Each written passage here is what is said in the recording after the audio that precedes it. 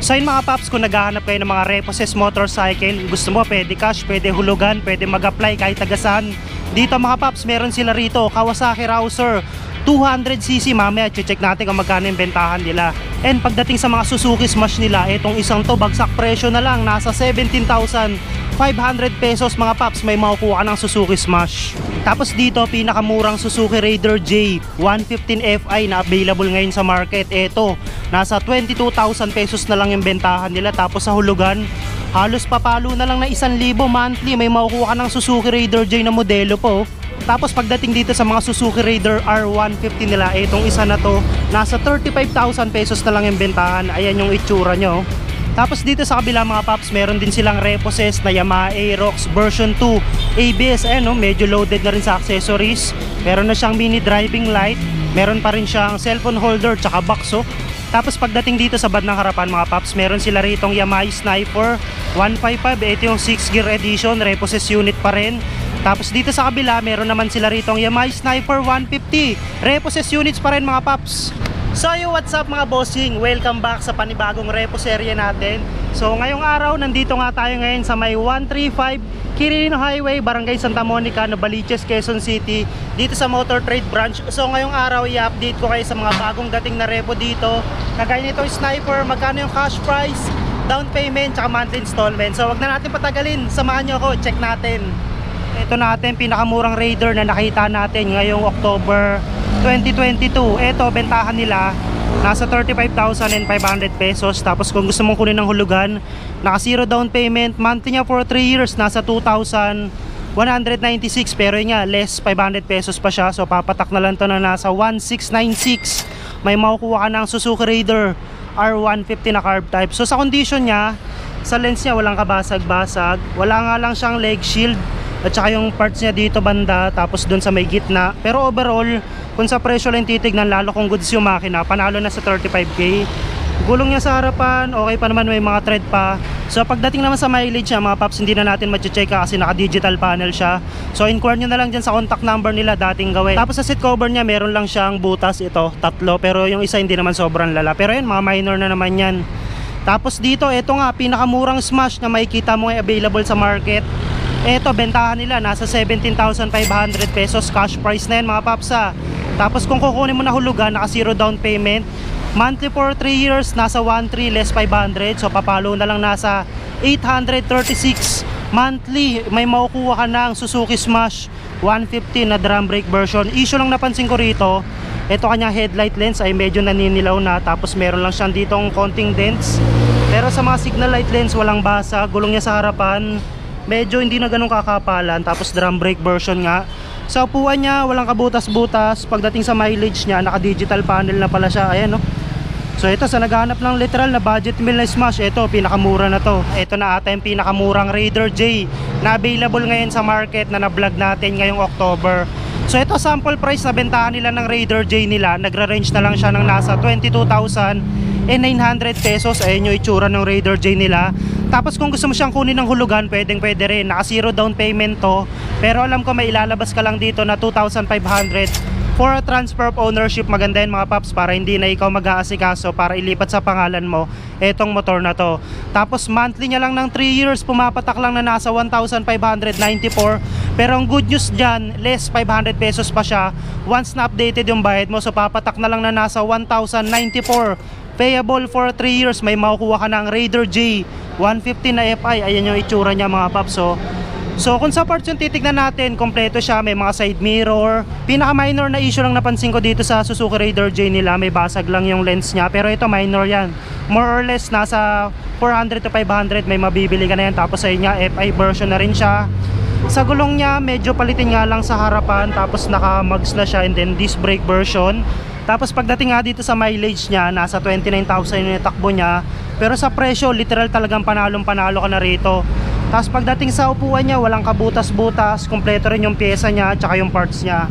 So ito, pinakamurang Raider J na to na nakita natin ngayong buwan ng October. Tapos dito pagdating sa mga Suzuki Smash, napakarami mong option dito. Maganda rito, karamihan naka-promo. Ito, dating 36,000 yung bentahan nila.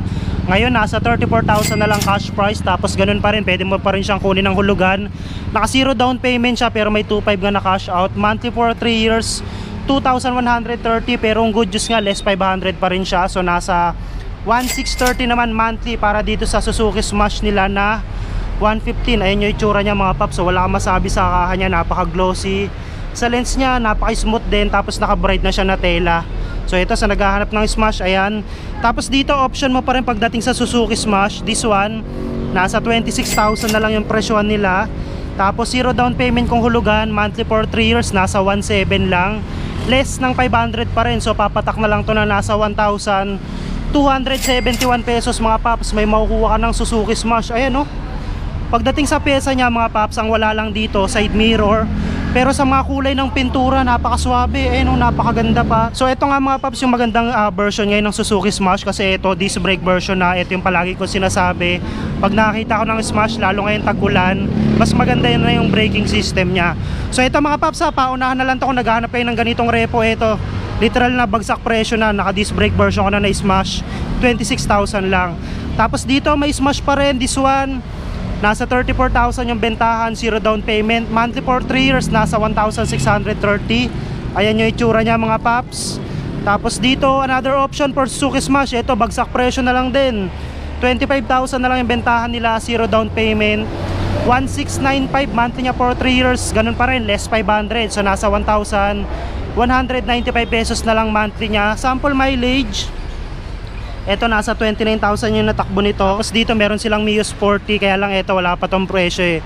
Kahatak pa lang kasi. Tapos dito meron sila rito Honda Click na 125. Ito dating 53,000 yung bentahan nila. Ngayon naka-promo sila kaya naging 51,000 na lang. Tapos kung gusto mo kunin ng hulugan, naka zero down payment pa rin siya. Pero yun nga, may 2.5 siya na cash out for transfer of ownership. Monthly niya for 3 years nasa 2.9 pero yun nga less 500 pesos. So papatak na lang siya na nasa 2,000 471 may makukuha ka ng Honda Click 125 sa parts niya ang wala lang dito itong side mirror niya tapos yung uh, lever niya naka aftermarket na ng color silver. Sa mga headlight lens tsaka signal light lens ayan kompleto walang kabasag-basag. Sa gulong sa harapan medyo makapal pa repainted na ng color white yung mags niya. Tapos dito nga mga paps sa mga naghahanap ng Kawasaki Rouser 200cc color combination ng ano blue white tsaka color black. Ito meron sila rito ayun yung itsura niya So etong 200cc nila nagre-range ng nasa 82,637 sa cash price. Tapos kung gusto mo siyang kunin ng hulugan, na minimum down payment niya nasa 4,500 pesos. Pero pwede mo siyang taasan depending kung may extra budget ka. Tapos monthly installment for 3 years nasa 4,233 pero yun nga mayroon pa siyang less na 500 pesos. So papatak na lang na nasa 3,733 monthly for 3 years. Ayun nga may makukuha ka na rito ang Kawasaki Rouser 200cc yun yung itsura niya mga papso parang may pagka sports bike na siya. Sa condition um, okay pa naman siya. Meron lang siyang medyo may pagka fade dito sa kulay pero tingin ko kayang makuha ng motor wash. Pagdating sa parts ayan meron pa siyang mga side mirror visor tapos meron na rin siyang protector dito sa gas tank niya So ayan yung itsura ng rouser nila. So ito sa mga naghahanap niyan mga paps, available yan dito sa branch nila. So ito nga mga paps, pagdating dito sa harap, meron pa silang dalawang sniper, isang 155 tsaka isang 150, meron din Bergman doon. So ito papasadahan natin. So yung bentahan nila na sniper 155 nagre-range ng nasa 103,000 and 190 pesos. Tapos kung gusto mo siyang kunin ng hulugan, nasa 10,000 yung down payment niya. Monthly for 3 years nasa 5.4 pero may less pa siya na 500 pesos. So papatak na nasa 4,930 pesos. Monthly may makukuha ka na sniper 150 ayun yung itsura nyo. So sa condition sa headlight lens niya, walang kabasag-basag naka-Stanley na lens. Tapos sa mga signal light lenses niya, all goods pa rin. Mga park light okay na okay. Sa gulong sa harapan, ito halos parang bagong-bago pa siya. Tingin ko dito sa unit na to, more or less nasa 4,000 lang mileage niya kasi masyadong fresh pa yung gulong. Tapos yung mga parts niya, ayan, kompleto nga. Tapos, tapos pagdating sa seat cover niya, okay din, walang kabutas-butas. Sa mileage mga paps, hindi lang natin ma-check ha kasi naka-digital panel to. So ito, in-core nila sa kanila. Kung gusto niyo malaman ko ilan na natakbo ng Sniper 150 nila. Pero tingin ko nga, nasa ganun lang yan. Nagre-range ng nasa 4,000 siguro. Tapos dito meron silang sporty, yung presyo ng sporty nila. Nasa 54,000 cash, zero down payment. Monthly for 3 years, papatak na lang siya ng nasa 2,619 payable pa rin siya ng tatlong taon. Ayun yung tsura ng sporty nila. Sa lens niya okay din. Wala kang masabi. Sa pintura niya okay na okay pa rin. Smiley walang kabasag-basag gulong niya sa harapan stock tire pero may mga tread pa. Tapos sa mileage, nasa 11,000 naman yung natakbo ng sporty nila, ayun yung itsura. Tapos dito nga meron silang sniper na 150. So sa sniper 150 nila, nasa 70,000 yung bentahan nila. Tapos kung hulugan, zero down payment, monthly for 3 years, nasa 3,800 less 500. So papatak na lang to ng nasa 3,380. Monthly for 3 years, ayun nga, may makukuha ng sniper na 150. Meron na rin siyang plate number kasi no, meron na siyang barcode dito sa headlight lens. Wala nga lang siyang kaka dito sa may harapan yung cover dito. Tapos yung pinaka visor at saka front fender. Tapos yung gulong niya naka aftermarket na na siya ano, FDR na branded. Sa lens niya okay naman, walang kabasag-basag, walang lamat, wala ring crack. Sa mileage mga paps, hindi nga lang natin ma-check, wala nga lang din siyang grab bar tapos naka JRP na siya na flat seat na upuan. Ayan oh. So ito sa nagharap na sniper yan, dalawa yung pagpipilian nyo. Tapos sa TMX nila, meron dito tag 45,000 cash price, zero down payment. 26 monthly less ng 500 so nasa 2179 naman monthly niya ayan yung itsura ng TMX nila na 125 solid pa rin yung lens niya halos bago pa rin. Tapos sa mileage ayun napakababa pa. Nasa 6.5 lang yung natakbo. Halos parang kumuha ka na rin ng bago nito. Tapos dito meron uling sporty. Ito dati 46,000 yung bentahan. Ngayon nasa 37,000 na lang. So almost nasa 10k din yung discount nila. Tapos zero down payment. Tapos monthly niya for 3 years magre-range na lang to na nasa 1,800 kasi may rebate siya na 500 eh ayan yung itsura ng Yamaha Mio Sporty nila. So ito pwede na rin siya. Nasa 37,000 na lang cash price. Lens niya lang medyo basag na. Tapos dito sa may pairings niya dito sa may bandang headlight ayan medyo may sira na. So ito palitin na to. Sa mileage nasa 8,774 wala nga lang siyang side mirror. Tapos sa upuan niya and then wala namang kabutas-butas. Meron pa rin siyang grab bar So ito yung bentahan nila rito ng Suzuki Bergman Street. Nagre-range ng nasa 65,000 Tapos kung hulugan naka zero down payment. Pero ganun nga meron pa rin siyang 2.5 na cash out For transfer of ownership. Monthly niya for 3 years nasa 3.6 Pero may less 500 So nasa 3.143 na lang monthly. Ayan yung itsura ng Bergman Street nila. So sa condition pagdating sa mga chrome na trimmings niya Napakatingkad sa headlight lens niya napaka goods pa. Pagdating sa gulong sa harapan makapal pa. Tingin ko sa likuran makapal pa rin. Tapos mga signal light lens niya wala rin basag. So ito sa naghanap ng Bergman and meron sila. Tapos ito yung pinakahuling repossess unit na meron sila rito. Meron silang Suzuki Skydrive Sport na 110 Fi ito yung bentahan nila rito nasa 47,000 and 390 pesos. Tapos kung gusto mong kunin ng hulugan naka zero down payment. Monthly niya for 3 years nasa 2,000 764 pero ganun pa rin mga paps meron pa rin siyang less na 500 pesos. So nasa 2264 naman monthly para dito sa SkyDrive nila. So ang issue napansin ko rito itong lens niya and medyo parang pinapasok na ng tubig sa loob. Tapos itong front fender niya medyo sira na. Sa gulong sa harapan stock tire pero may mga tread pa naman Alright mga paps, sa proseso naman tayo tsaka sa requirements kung gusto yung kumuha rito ng installment basis tsaka cash basis na motor So sa proseso, pwede kayo ditong uh, mag-walk-in. Mas maganda syempre mga paps para makita mo na actual itong mga unit nila. And sa online mga paps, pwede rin eh nga, pwede kayong kumuha rito ng installment basis kahit hindi kayo taga dito.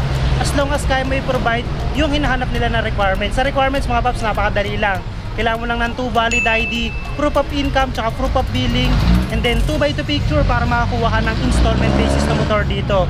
Tapos ang maganda rito, pwede ka rin dito mag-apply through online. Yung online application nila mga paps nandiyan na sa comment section. I-fill up mo lang and then kung sakali naman na ma-approve ka kailangan mong pumunta dito sa branch nila kasi hindi po sila nagde-deliver ng unit So ayan mga paps, bago natin tapusin tong video na to, big shoutout muna dito sa Motor Trade Team dito sa Novaliches sa may Santa Monica. So sila sir yung pwede nyong pag-inquiran regarding dito sa mga unit na meron sila rito. Tsaka mga sir, gusto ko lang din magpasalamat sa assistance nyo para ma-feature natin yung mga available repossess units nyo. So shoutout kila sir. At saka yun nga pala mga paps ha, kung tumitingin din kayo ng iba't ibang klaseng motor, ito kasama rin natin si Tropang Kabigotilyo. So i-subscribe nyo rin siya para maging updated din kayo sa mga bagong video na ilalabas niya. So ayan, si Kabigotilyo. Search nyo lang dyan sa YouTube channel niya and then i-subscribe nyo na rin. Thank you, J, J Motovlog. So ayun na nga mga paps, na-check na natin itong mga available Repossess motorcycle dito sa branch nila kung naghahanap kayo ng mga Repossess motorcycle mga paps. Hopefully itong video na to nakatulong sa inyo para mahanap nyo yung mga hinahanap nyong unit.